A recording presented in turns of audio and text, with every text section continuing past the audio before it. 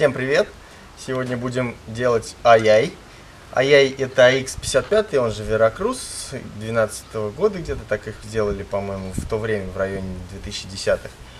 И, как бы, конечно, никому не придет в голову делать такую машину самому, но хотя бы посмотрите, в принципе, здесь, как сказал мой сын, все делается достаточно легко. Вот сейчас будем делать замена стойки стабилизатора. На секунду отвлекусь, объясню, почему ай-яй. Ай-яй это первые слова были, когда я увидел какой транспортный налог на эту машину. Ну, можете сами посмотреть, Башкирия, там ай-яй-яй. Ну, сокращенно ай-яй. Так и прилипло к этой машине ай-яй. Сегодня меняем стойку стабилизатора. Это первая вещь, на которую стоит обратить внимание, если у вас появились какие-то посторонние звуки в подвеске. Вот обратите внимание, стойка, она в принципе похожа на стойку от, больше от легкового автомобиля, чем от внедорожника. Видимо, поэтому так быстро и выходит из строя. Э, появляется вот здесь вот стук. Сейчас на микрофончик. Диагностируется монтажкой это все.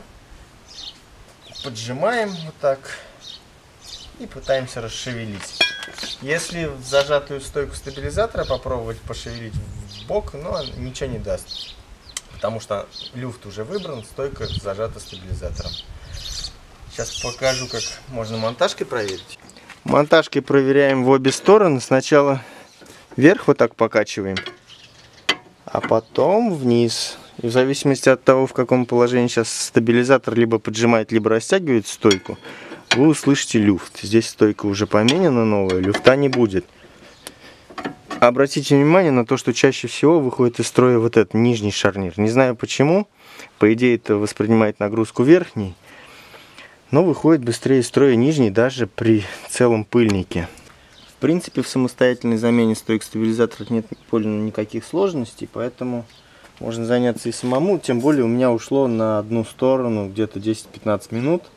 Для начала зачищаем щеткой резьбу. Это надо для того, чтобы гайка открутилась без заеданий. Смазываем его. Лучше, конечно, ВДшкой. Но ВДшка интересный предмет. У меня в гараже, если она есть, то ее сразу нет. Вот масло всегда найдется. После чего ключом на 17 откручиваем.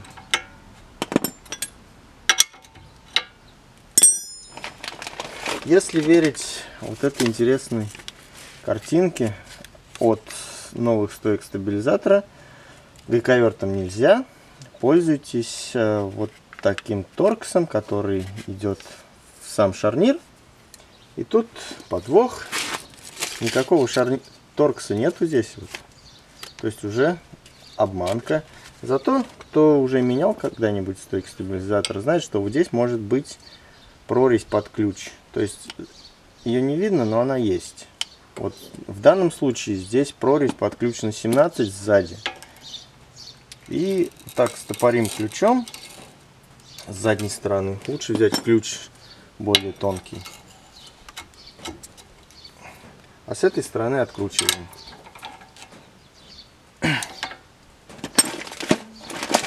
Напоминаю, гайковертом пользоваться нельзя ни в коем случае. Откручиваем, откручиваем ключом. То же самое проделываем снизу.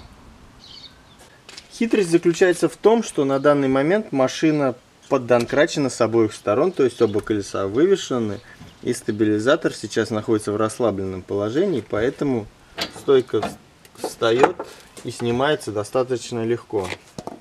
Берем заранее приготовленную стойку.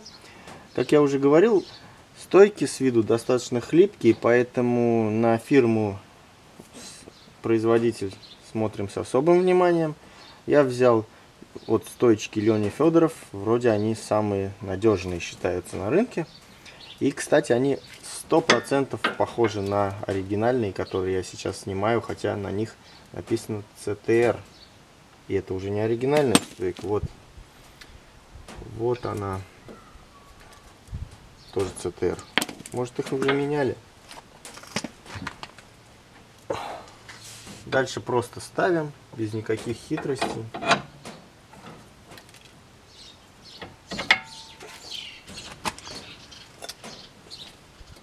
Смазываем и затягиваем.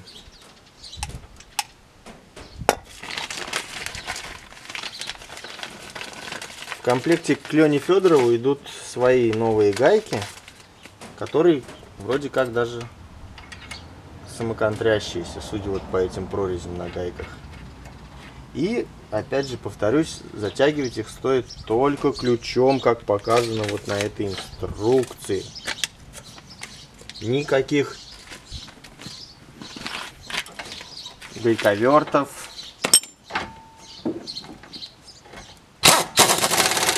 Только, только ключ. То же самое делаем снизу. В принципе, все в режиме онлайн, можно сказать. Никаки, никакого более-менее такого хитрого монтажа нету. И вы сами видите, что все меняется ну, достаточно легко.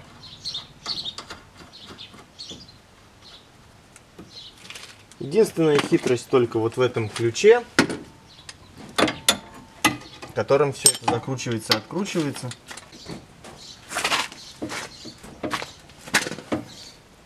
Одним ключом держим, а другим затягиваем. Вот видим, и все готово. Приятность работы с машиной самому все-таки в том, что помимо того, что мы меняем стойку стабилизатора, есть возможность самим посмотреть тормозные колодки, смазать направляющие суппортов, посмотреть, в каком состоянии пыльники всякие, всего подряд, там, шрусов, рулевого. Делать небольшую диагностику подвески. То есть в сервисе, если вы попросите это сделать кого-то, он, скорее всего, просто заменит вам стойку стабилизатора, возьмет с вас деньги. А здесь вы можете попутно провести диагностику и запланировать что же будете делать дальше.